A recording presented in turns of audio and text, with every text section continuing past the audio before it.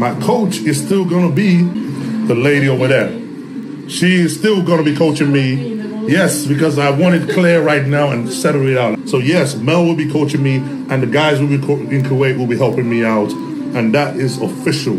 Hey guys, Ivan here, and as you just heard, Samson's new coach, or actually the old coach, is gonna be still his wife. Samson's wife is coaching Samson, and there you go. He's at the oxygen gym and he's gonna be staying there for the entirety of his prep.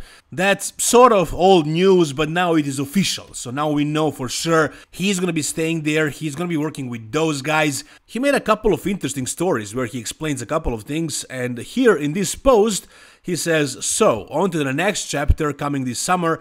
I will be joining the Oxygen Gyms team under the watchful eye of Bader Boodai and the Oxygen team while being coached by my wife, Marlena. Uh, I want to say thank you to Bader Boodai and the Oxygen Gym, Oxygen team for being so welcoming to me and my wife. We truly appreciate this opportunity. So, what does this even mean, really? I mean, he's gonna be over there are they gonna be sponsoring him now? Because here in the caption, he also added the Hostile supplements, so apparently he's still sponsored by Hostile, but is that gonna last long? Or is he gonna go away from them? I'm not sure. But yeah, apparently he's part of the Oxygen team. Now, you guys probably remember when Regan Grimes went to the Oxygen Gym all the way back in 2017, so seven years ago, and those guys pumped him up to 300 pounds.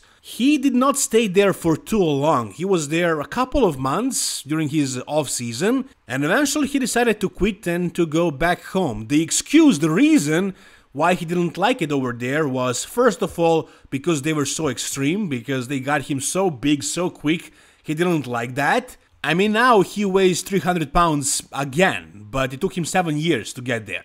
So I think in Regan's uh, case, he it was a good decision to go over there and to stay over there for a long time because it's what he needed. He needed muscle, he needed mass, and he still needs some. So I think for him it would make a lot of sense to go back over there. But the other thing, the other reason why he eventually went back home was because he was missing his girlfriend at the time. Meaning he was not allowed to go over there with his girl, with his wife, because you know how those guys are over there in Kuwait. You know what their culture is like, and maybe they would let him bring his girlfriend with him, but to train at the gym and so on. Yeah, I don't know about that. However, it seems like in Samson's case, they made an exception. I mean, I don't know if his wife is gonna be allowed to get to the gym, but if she's coaching him, she should be with him there.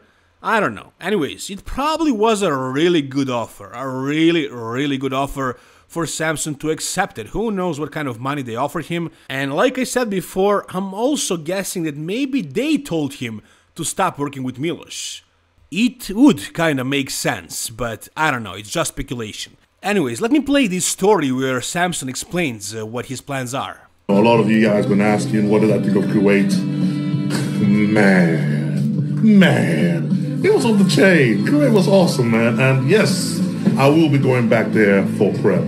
I will be going back there to actually get this done. And yes, I will be joining Oxygen team. So yeah, for all those people that have asked for such a long time, I am doing that. And you know what? We're gonna do this. And I believe them guys uh, definitely have what it takes to push me to to the limit. And uh, even though we're gonna be there, I'm gonna train in there. My coach is still gonna be the lady over there. She is still gonna be coaching me Yes, because I want it clear right now and settle it out. So yes, Mel will be coaching me, and the guys will be co- in Kuwait will be helping me out, and that is official. It's a new chapter. It's a new life. Draw a line under the old one. Forget all the bull. Alright, so there you go, guys. It's gonna be very interesting to see what Samson is actually gonna bring to the Mr. Olympia stage. I'm assuming he's gonna be even bigger, but as far as conditioning and his look on stage, I really have no idea what to expect. I mean, his wife did prep him for Arnold UK and for Prague and whichever show it was, uh, Romania, but it's after the whole prep was done.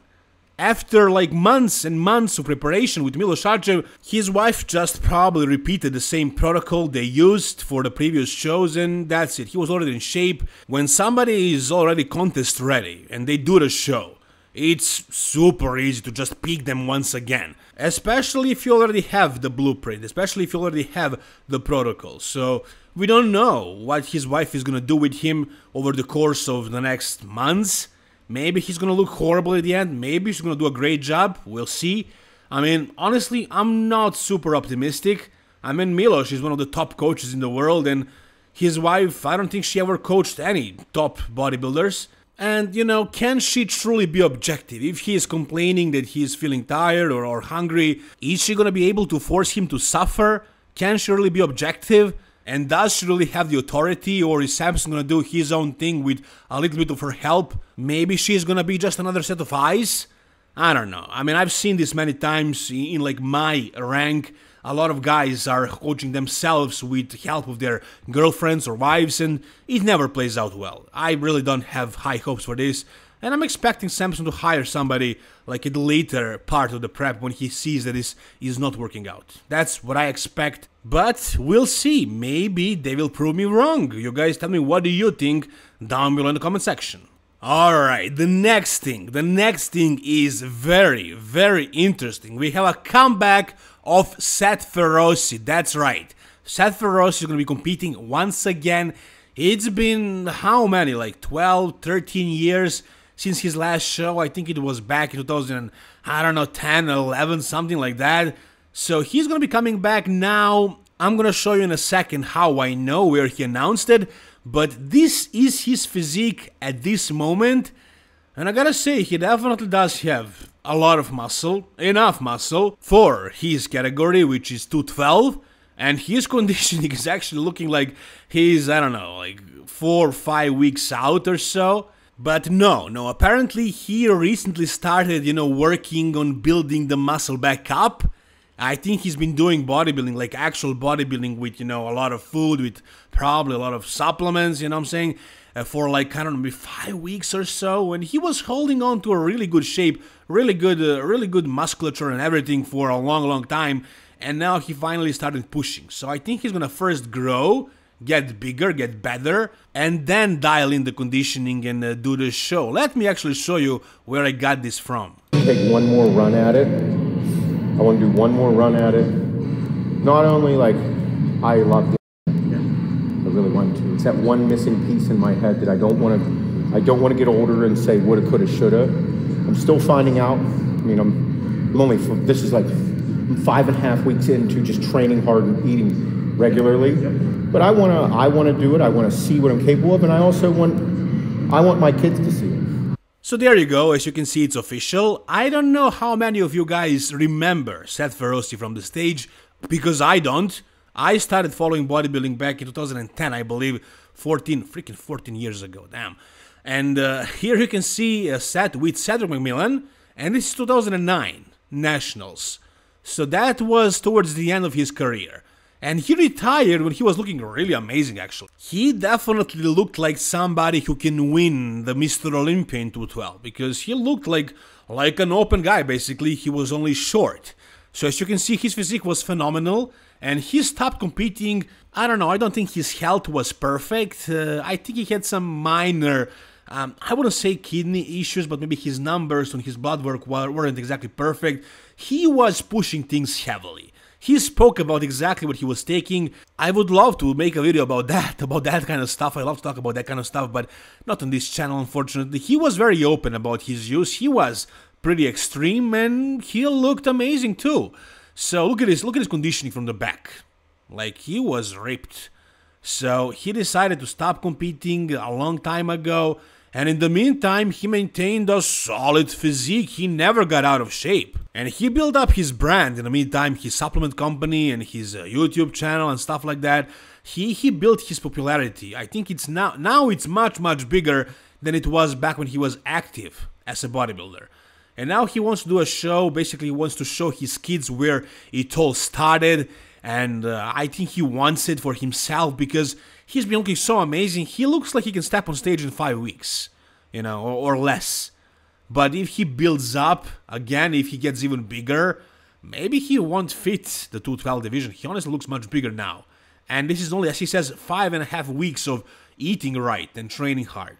So imagine if he does another like cycle of 12 to 16 weeks of pushing, you know, for size and then working on conditioning. So I think this is going to be a phenomenal package, potentially better than he ever was, bigger at least.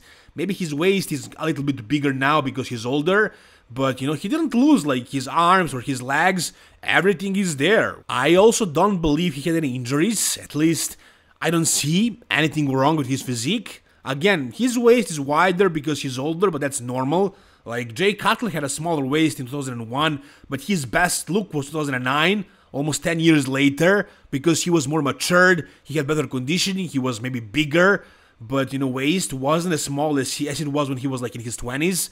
So that's the only thing, but really, like with age, guys usually lose their limbs, you know, the, the legs and their arms, but not with Seth Feroce. You think his arms are actually bigger now than they were when he was active competitor. So I think this comeback is going to be very good. I don't know if he's going to make it in 212 Maybe he will because again he is very short, but you know he does look amazing. I gotta say, and yeah, I think his comeback is gonna be very successful. What do you guys think? All right, the next thing it is very very interesting, and I saw this a couple of weeks ago and I wanted to make a video about it, but I totally forgot for some reason. And today somebody sent me an Instagram post about it, so I thought it would be a good time to make a video about it. You guys probably remember if you watch my channel that in one, or if you watch uh, the Menace uh, podcast, that in one of the episodes, Dennis James actually asked Patrick if he's coaching Big Ramy, and he said, I'm not confirming that. He did not say, I'm denying that. He didn't say anything uh, official, but you know, it was pretty obvious that he's coaching Big Ramy. And you guys know that Big Ramy is doing uh, Pittsburgh Pro guest posing. We haven't seen anything from Big Ramy recently, so I am expecting something special this weekend. I'm expecting something incredible and in a podcast that Patrick did in Italian. So I don't know exactly what he said, but the guy who sent me this translated it for me. Uh, he basically showed a photo of Big Ramy, and I think he said he was 360 pounds, which I believe is the heaviest Big Ramy has ever gotten in his career. And he shot a photo from his phone, so as you can see, it's not exactly very clear. You can't see much, but you can see the size, pretty much and Big Ramy has the size. I mean, it's Big Ramy, he always had it, but now we know for sure Big Ramy is not coming downsized. He is coming big, massive, again, 360. And in this podcast, Patrick also didn't confirm that he is coaching Big Ramy, but if he has his update photos, I think it is pretty clear. And yeah, I mean, it's, I think it's a great choice for Big Ramy to go with Patrick Tuor. Honestly, guys, I spoke to Patrick and I'm probably gonna hire him to prep me for my next show, for my NPC debut, for my pro qualifier, because I watched multiple podcasts with him and I, I agree with a lot of things he's doing. I'm doing a lot of things similar in my off season now, and I'm really curious to see what his approach is like in prep. I think I can learn a lot from Patrick, and I think he's very, very committed to his job. I think he's like a full time coach. He's very passionate about bodybuilding as well. And in my opinion, right now, he's probably, you know, in top five best coaches in the world. I wouldn't say top 10, I would say top 5, especially if you consider his current roster. He has some really good pros under his wing. I told him I want him to make me look like this, exactly like this. And he said, okay, just kidding, that's probably not gonna happen. Look at this freaking monster right here. This guy is just getting better and better. And no, I'm not expecting to look like this as my pro qualifier. Uh, this is just insane. This is just ridiculous. And yeah, the comments are absolutely right. This guy, he can do open as well. I mean, for now, he can if he can feed the classic weight cap, sure, do it, try it, but Eventually, with this kind of genetics, I think he should go to the open. But if he can squeeze into the classic, he can do some serious damage, guys. I've been saying this a long time, and I'm gonna keep saying it. This guy can definitely be one of the top, I think, top five, top six guys at the Mr. Olympian Classic Physique very soon, very soon. So again, it's not official, but I think Big Ramy made a great choice for choosing Patrick. And if you guys disagree, you can tell me down below. Whatever you think, tell us down below in the comment section. If you guys enjoyed this video, give it a thumbs up. And for more videos, guys, please subscribe to this channel. Thank you so much for watching. See you soon. All the best and bye-bye.